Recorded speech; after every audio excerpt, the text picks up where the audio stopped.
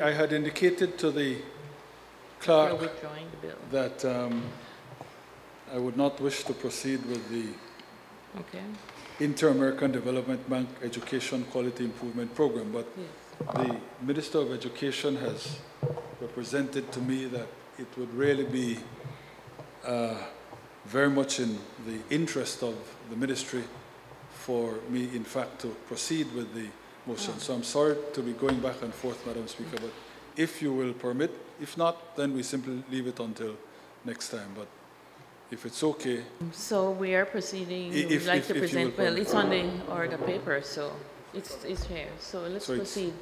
very well. Go ahead, it's, it's still Much there. obliged, much obliged. Madam Speaker, this is the Inter-American Development Bank Education Quality Improvement Program 2, E- EQUIP 2.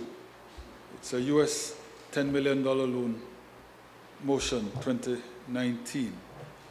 I move whereas, as a member of the Inter-American Development Bank, Belize is eligible for development assistance, whereas the government of Belize has approached the bank for financial assistance, whereas the general objective of the program will be pursued by achieving the specific objectives one, to improve the quality of primary school teachers, two, to improve the quality of secondary school teachers, and three, to promote gender sensitive STEAM teaching. Whereas the bank has offered financing of up to US 10 million from its OCR, Ordinary Capital Resources, This motion has been sprung on us today um, for passage.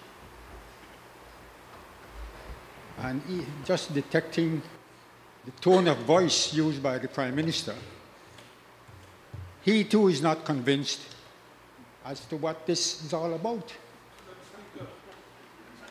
a hell of a thing. he is able to say what my tone of voice indicates.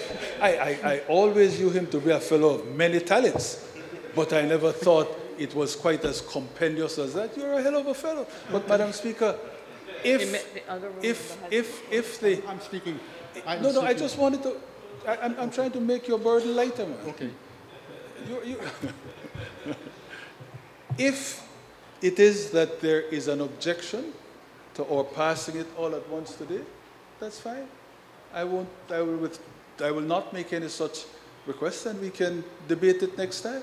There's, what I don't understand, Madam, there's nothing to hide about these things.